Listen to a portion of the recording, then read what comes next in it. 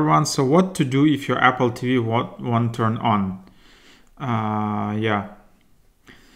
So here's what you need to do. First, you need to check the HDMI connection between your Apple TV and television. Uh,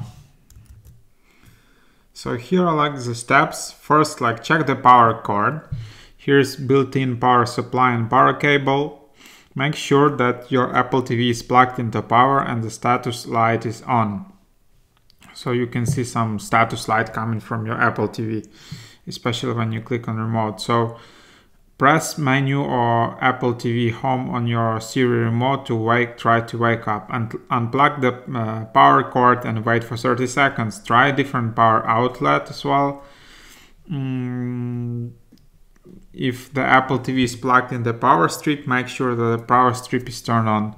Just first make sure that your power cord is working and make sure that you have electricity from your source.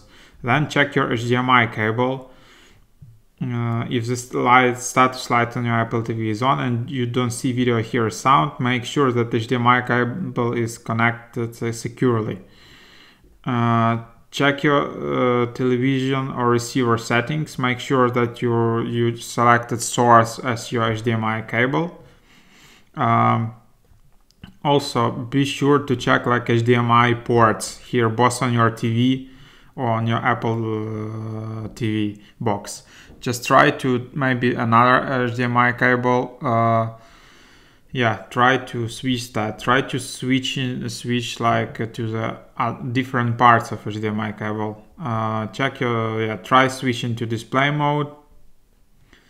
So on Apple TV 4K hold menu and volume down for 5 seconds then release your Apple TV will switch to a new resolution every 20 seconds.